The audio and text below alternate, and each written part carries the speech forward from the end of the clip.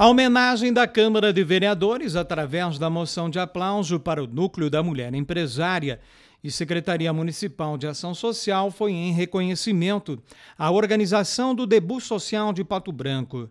O projeto social Sonho de Menina fez com que 20 garotas pato-branquenses vivessem um momento especial com suas famílias em Pato Branco, numa noite inesquecível para todas.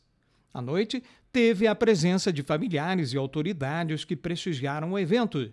A equipe do Núcleo da Mulher Empresária, da Associação Empresarial de Pato Branco e da Secretaria Municipal de Ação Social receberam a homenagem na reunião ordinária do Poder Legislativo na tarde desta segunda-feira.